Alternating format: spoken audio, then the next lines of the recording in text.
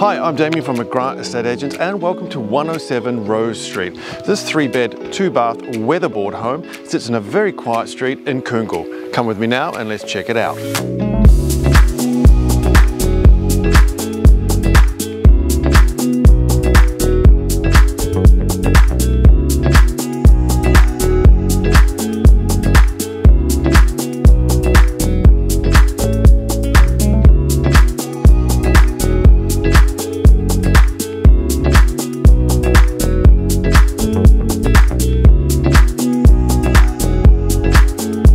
What I really like about this property is it has a separate self-contained living area with its own separate entrance.